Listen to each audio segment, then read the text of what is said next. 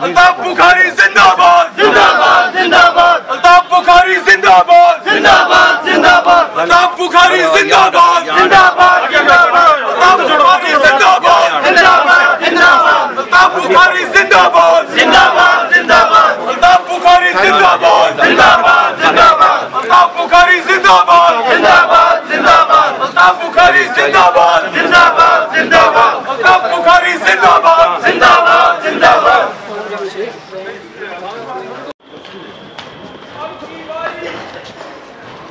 आपकी बारी अल्ताफ बुखारी।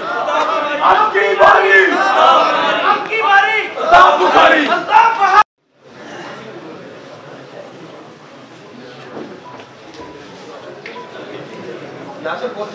जी ये जिन्होंने ज्वाइन किया मुख्तार आतर साहब थे वसीम पठान साहब थे रजाक इकबाली साहब आफसर कुरैशी साहब। तो मैं चाहूँगा जो हमारे जोनल प्रेसिडेंट हैं गुर के वो भी आज अल्ताफ साहब का हमने सामने आए।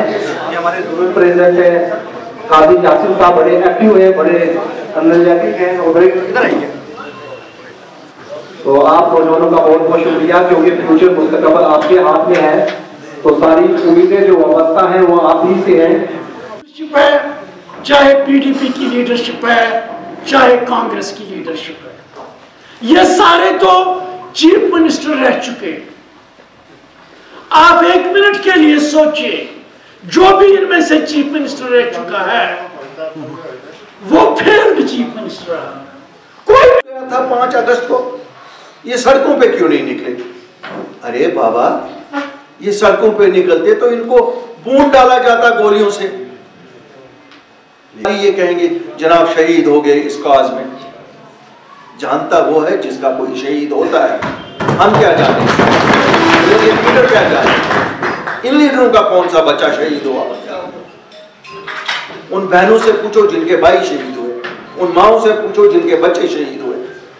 उन बेटियों से पूछो जिनके पति शहीद हुए। बहरहाल हमने फैसला किया कि ये ऐसी जमात है सियासतदानों की जो अपनी कुर्सी के बिना कुछ नहीं देख सकते। Asian Mail, press bell icon, never miss an update.